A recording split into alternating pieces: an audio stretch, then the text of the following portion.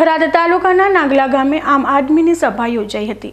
આમ આદમી પાર્ટીની આ સભામાં પાર્ટીના કાર્યકરોને ગામ લોકોનો સારો એવો આવકાર મળ્યો હતો અને મોટી સંખ્યામાં ગામ લોકોએ આ સભામાં હાજરી પણ આપી હતી, જેમાં આમ આદમી પાર્ટીમાં નવા કાર્યકરો પણ જોડાયા હતા. તેમજ નાગલા ગામના અગ્રણી કમલેશ પટેલ પણ આમ આદમી પાર્ટીમાં જોડાયા હતા. જ્યારે કે થાનાભાઈ પટેલે અને રાણાભાઈ પટેલને થરાદ શહેર આમ આદમી પાર્ટીના પ્રમુખ તરીકે જાહેર કરાયા હતા.